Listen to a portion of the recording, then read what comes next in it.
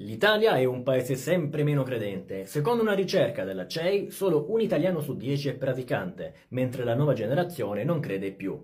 Molti stanno già festeggiando, mentre tanti altri non sono sorpresi, diciamocelo.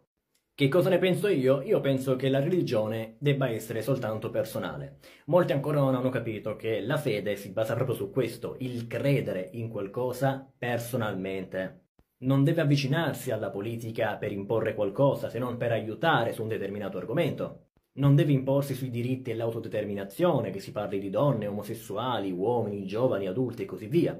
Uno dei tanti motivi per cui infatti la gente non crede più è che è troppo distaccato il pensiero religioso da quello attuale, dell'essere umano, dell'evoluzione sociale.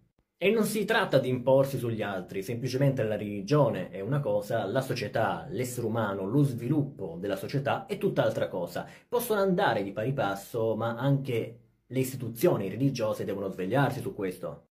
Poi ovviamente questo cambia di paese in paese, per esempio in paesi con la religione di Stato tutto ciò non potresti averlo, perché hai un'imposizione. Così come molti musulmani hanno una visione diversa per quanto riguarda il credere, hanno una passione più sviluppata, sono più propensi a quel mondo lì, è normale. L'importante in una società civile e avanzata è non imporsi sugli altri e non negare quelli che sono i diritti umani. La religione deve rimanere qualcosa di personale. Fin quando questo concetto non sarà universale su qualsiasi religione, si avranno sempre problemi del genere.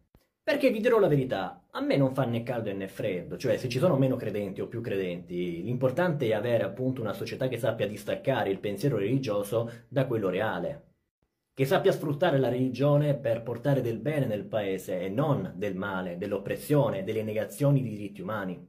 Il resto infatti è fuffa e roba per fanatici che non mi appartiene.